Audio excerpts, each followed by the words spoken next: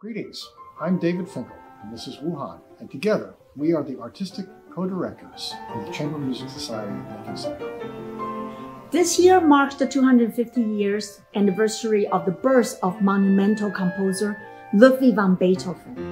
And in the world of chamber music, we take immense joy in the incredible list of work he left to us.